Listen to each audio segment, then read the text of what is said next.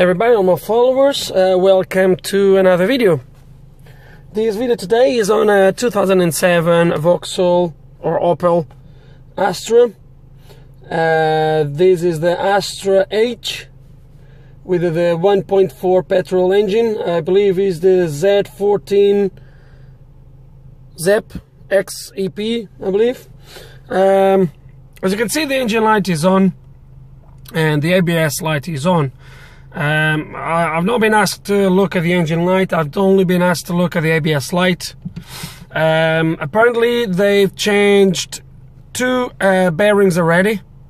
Uh, oh, by the way, this car is the one that comes with the ABS sensor uh, built in into the bearing. And apparently, they changed the first one, didn't work. They got another one, didn't work. And now they asked me to have a look.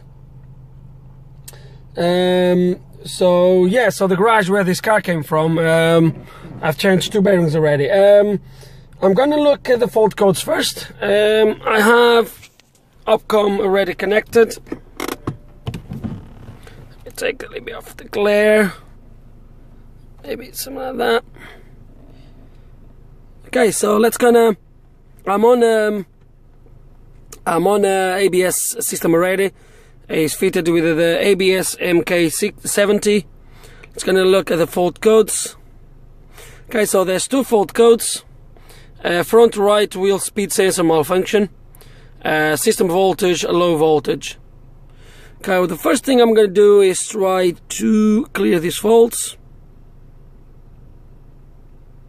Okay, only one fault comes back on.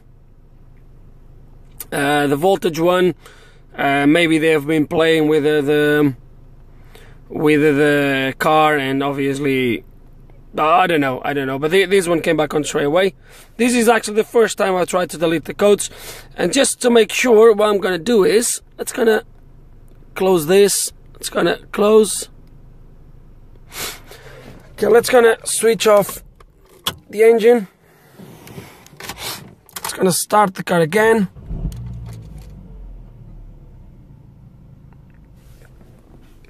and let's gonna scan the ABS module again.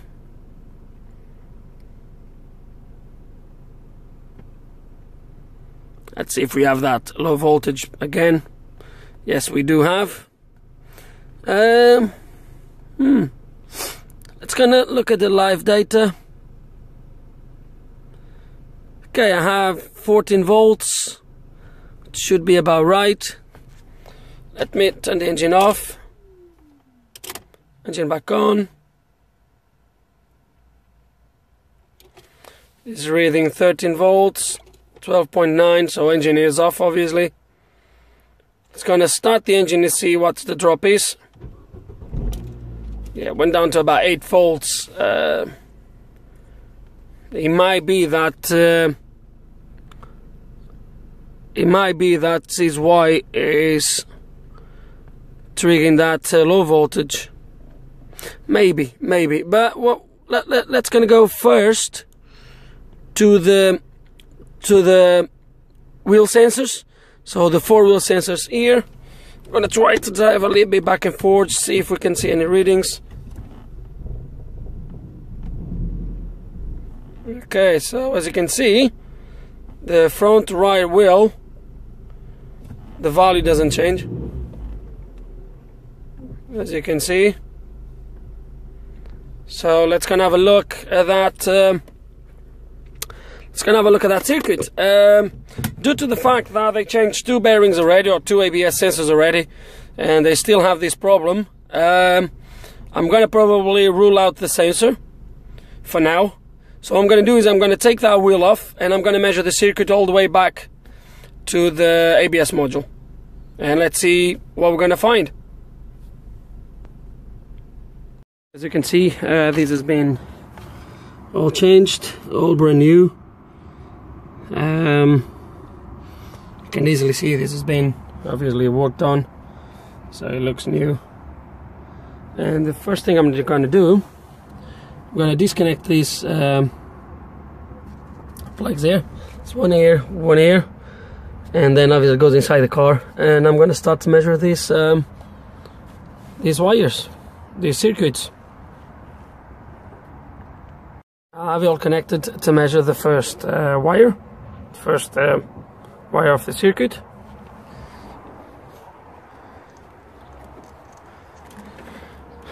And the pin is going to be this first one, straight after my finger.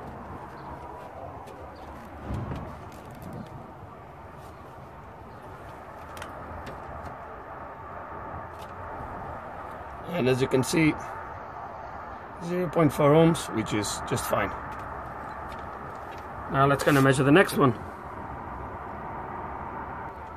Okay, so I've connected the other one in there. Let's gonna measure here. Whoa, there is a problem. So the second circuit is showing 88.89 kilo ohms, which is no good. Okay, um, uh, in this case there's no chance that you are measuring anything else because it's a straight connection from the sensor back to the ABS module. So if you are getting even this measure here, that means this is the correct wire, and that means is it's going to be a broken or it's going to be oxidized or something like that. So we're going to have to start to take things apart and try to find out where the problem is.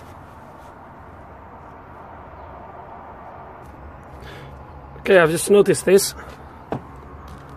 And if you're going to be able to see, someone has been messing around with it. I hate when people do this kind of jobs when they don't know what they're doing. Okay, but at least we have a broken point in there. Uh, I'm going to be able to measure if the problem is forward that way, that way, down to the between the wheel and this point, or if it's further down to the engine module uh, to the ABS module.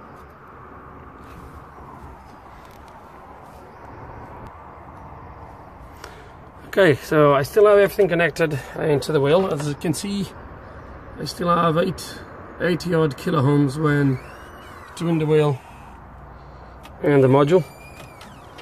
But when I get the signal from there,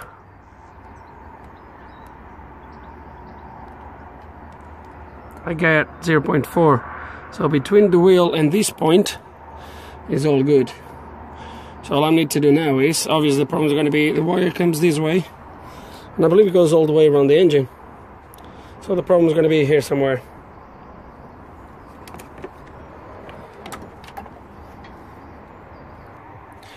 Okay so when I was um, looking at uh, follow the, the wire I've noticed you're gonna, I don't know if you're gonna be able to see from here, but the AC radiator is bent. I don't know if you can see. So I looked into the car and it was visible that the car had uh, possibly an accident, I'd say. And uh, you can actually see that quite well. So when I start to dig a little bit more, look at in there. Look at in there. So I think this is all metal here. I think that's where our problem is going to be. And I'm um, fingers crossed it's going to be there. So it's going to be easy to resolve. Okay, so sorry about that. There is. That's where our problem is going to be. And uh, yeah, it's quite nasty. So what we're to do now is we're to strip this loom and repair the wires. As you probably have seen from my videos, I don't like to do a lot of editing. Uh, but uh, I'm to show you the main steps. And this, um, not rocket science, just the way I do it. So we're to strip this first.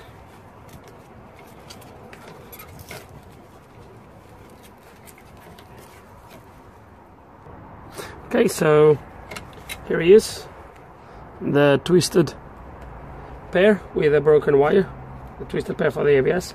The other wire is not even damaged, so I don't need to touch.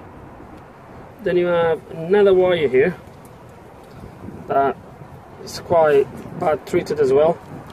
So we're gonna repair this one as well. and all the other wires they look okay to me so we have two wires to repair. And uh, that's what we're gonna do. Okay the first thing we do we cut the wires. And um, we just uh, remove we cut the wire backwards as much as we need until we make sure we have the wire free of oxidization oxidization okay? Um, so until we have a clean wire uh, if you need to cut one two three centimeters just cut it back. Make sure the wire is free of uh, any contamination okay? Okay the first thing I've done obviously is I've um, like I said I've cleaned the wires. Um, I've used a little bit of this um, more known as a shrink tubing. Uh, there's two versions of this tubing. Uh, this one is the best one with the glue so as it melts it glues at the same time there's a, a layer of glue on the inside. Uh, I put a little bit on each side because this is going to be exposed to um, moisture and water. It's better to isolate these um, connections quite well. And uh, I've uh, twisted the wires already put a little bit of flux and I'm ready to solder. Okay and I'm ready to shrink the first tubing oh come on the wind is terrible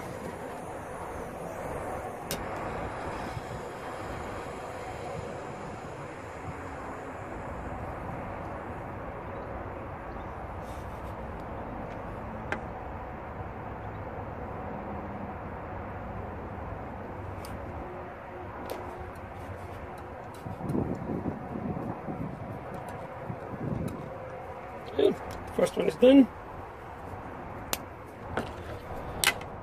Now we're going to repeat the process that is on this side. Okay, one is done. As you can see. I'm Gonna go do the next one, and who knows, this one is the one that was causing the engine light to be on. So it might be that we resolve two issues. Um, I resolve two issues here. Okay, so they are both repaired. And uh, what we're going to do now is because this is an area, it's going to be a weak area now, even though we used uh, all these uh, glue, shrink tubing, and everything, uh, we don't want to take any risks. So I'm going to use PVC tape, insulation tape, because it's more uh, waterproof. And then we'll just put a layer of cloth tape like this on the outside just to make it look good. Okay, and just before we put everything back on, let's kind of measure again. So the plug, I pulled it up here there, now connected. I'm gonna now measure on the second, which is that one in there. And there is 0.4, brilliant. So there's no more breaks on this circuit. And we should have resolved the problem. It's gonna now obviously insulate everything.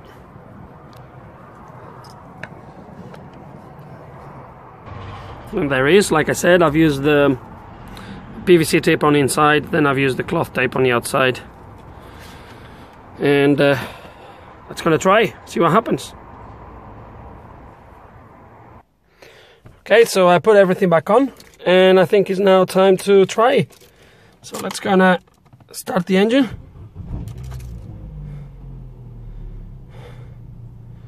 And let's gonna go now there. First of all, I want to see if I have speed now on the wheels. If you remember, was the front right. There we go. Everything's ready now. That sounds good. No, damn it. Okay. It's gonna go back. It's gonna go to fault codes. And uh, the first thing I can see is that the fault codes uh, are now for not present, both of them. so that's gonna clear the faults and hopefully the light will go off no DTCs and ABS light is off and just as curiosity let's gonna go into the engine see exactly what the engine has in there. There's the 14 XEP is that one? Battery is getting low on the laptop. I don't know if it's going to be enough for this I hope so.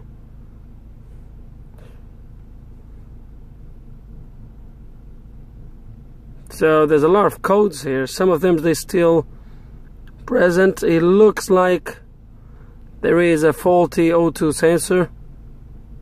Yeah.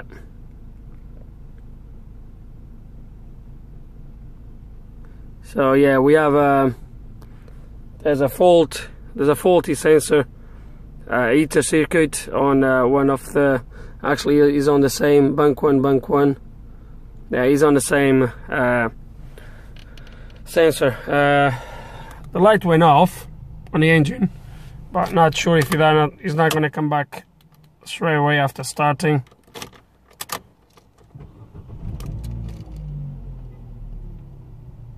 But it actually went off. But obviously these faults are present. But like I said, I, haven't been asked to touch on the engine.